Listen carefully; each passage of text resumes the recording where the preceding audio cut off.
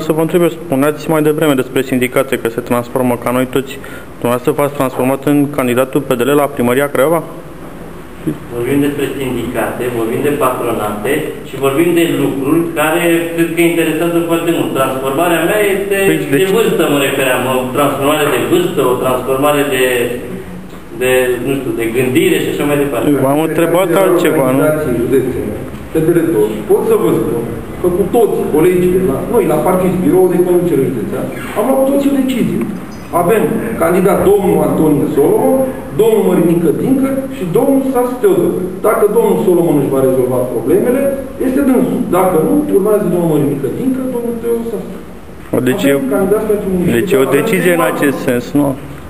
Nu știam că e chiar o decizie, credeam că e o idee așa, nu? Nu, nu, o decizie. Nu că am observat că la... O decizie. Deci pe domnul Dincă de la începutul conferinței l-ați făcut de trei ori, domnul primar, de asta am...